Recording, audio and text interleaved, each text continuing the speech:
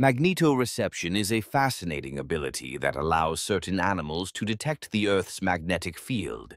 Imagine navigating the globe without a map or GPS, just instinct guiding you.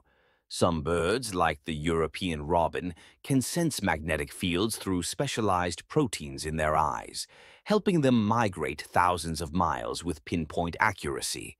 Interestingly, sea turtles also rely on this ability. They can return to the exact beach where they were born, using the Earth's magnetic signature as their guide. Even more surprising, some studies suggest that humans might have a latent sense of magnetoreception, although it's not fully understood yet. Certain species of fish, like salmon, have magnetite crystals in their bodies, which help them navigate through vast oceans.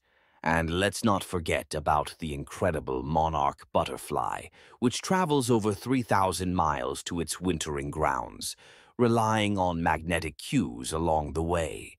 Research shows that even some bacteria can sense magnetic fields, using tiny magnetite particles to orient themselves in their environment. This ability isn't just limited to animals, it's a fundamental aspect of life on Earth. The mechanisms behind magnetoreception are still being explored, but scientists believe it involves quantum processes, making it a cutting-edge topic in biology. It's mind-blowing to think about how these creatures interact with the world around them, guided by forces we often take for granted. The more we learn, the more we realize how interconnected life is with the planet's magnetic field.